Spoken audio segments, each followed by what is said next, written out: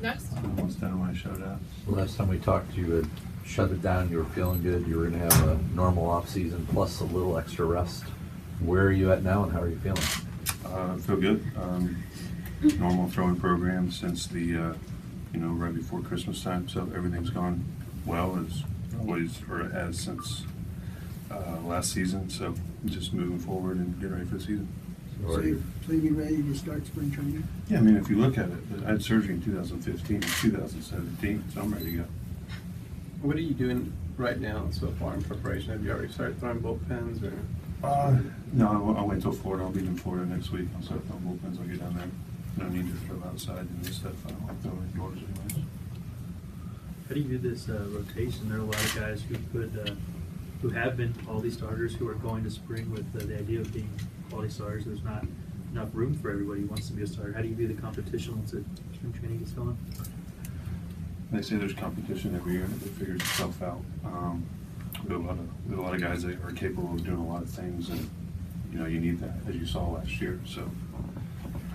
I'm just gonna worry about myself, and that's what I've always done, it's worked out for me, so I think I'll be all right. Now that you can throw other pitches, do you still have the same affinity for the fastballs you've expressed in the past? Well, I mean, if you looked at the success I've had, why change, right? Um, I'm gonna be who I am, whether you like it or not. What would you like to do in two thousand and seventeen? I'd like to win a World Series, that's the only, that's the only thing that matters. Is there, uh, I don't wanna say uncertainty, because I know you're fired up and excited about this year, but with it being the last year of your contract, how does that impact you going through the season? It doesn't. Um, I'm a Cardinal. Um, I've been a Cardinal, and that's how it's going to be. When the season ends, if I'm not a Cardinal, then I'll figure out where I'm going to go after that. That's the way I see it. Will you table talks, are you open to your reps talking throughout the season? How does it?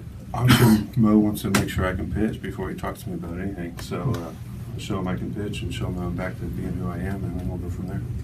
How much do you think you were inhibited before having the surgery? I mean, do you think that the, the pitcher you can be in 2017 is more similar, to maybe 14?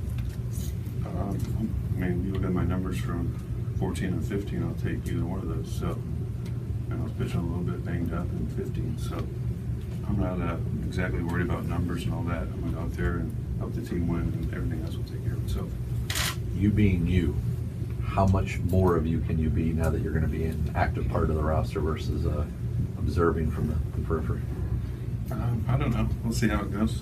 Um, I've been me for the last couple of years, and it's been fun, and I enjoy it. I enjoy my teammates, I enjoy competing with them, and they enjoy competing with me. So that's what it's all about, and it's pretty much the only way I take it. Lynn, Lance, how